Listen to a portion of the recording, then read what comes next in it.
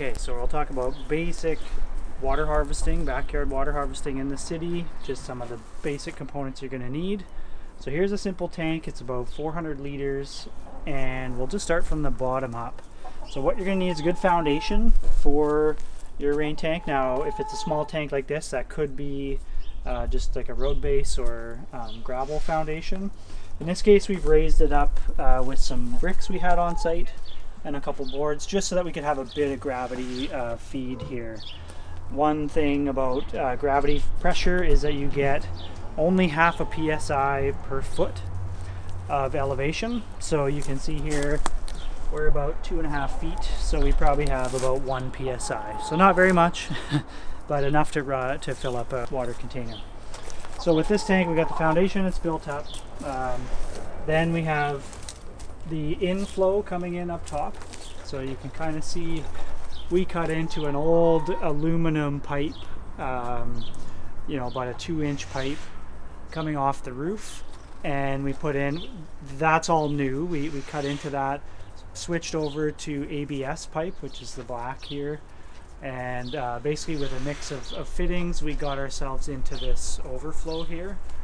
Um, one important consideration is that you always want to take note of your intake size. So here we have a two inch pipe and that means that we cannot have less than a two inch overflow because if that ever comes ripping down in a big storm, you don't want your tank overflowing. So we have the same size on the inflow, on the outflow, which is two inches. Uh, now in between that, you see on our tank, we have this really unusual box sitting on top. Okay, so what we have here, as opposed to just a simple screen filter, which you would commonly get, and some people do a first flush diverter up at the roof. And what that is, is it takes the first uh, five, ten liters of water and flushes it down out to the side, down to the storm drain, so it doesn't go in the tank. So what we have here is an alternative to that and, a, and an improvement on a filtration system, which is a wetland um, system that's in there.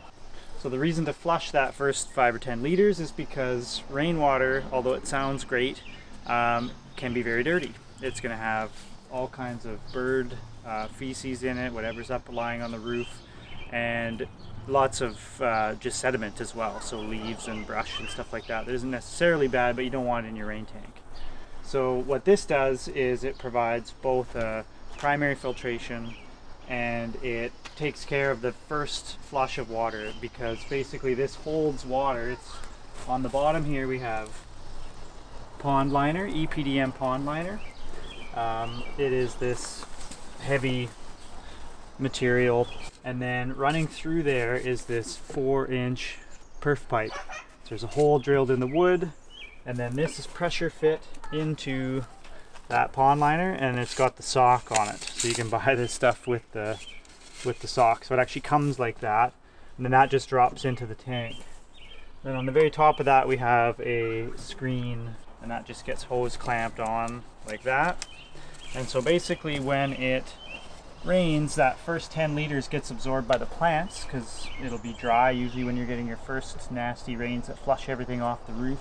So the plants eat that up right away and then it flows through the sock and down and then when you get the big heavy storms then the water actually fills up and goes down through this open um, end that just has the metal cloth so on any rain tank system you're going to be wanting to have some kind of first flush diverter uh, and primary filtration so in this case this little constructed wetland in a box basically takes care of those two elements together um, it's a little wetland. It's got some peat moss in there. It's got some compost.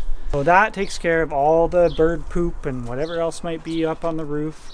Um, and it turns it into actually luscious plants because up top we have some uh, native grasses that are planted there and they, they really enjoy that high fertility. And then I guess the last thing would be the outflow. So again needs to be uh, same uh, dimension pipe is the inflow just to make sure that you're always able to spill that water in a, in a major rain event. And this is simply just going back down to the storm drain where we initially cut into.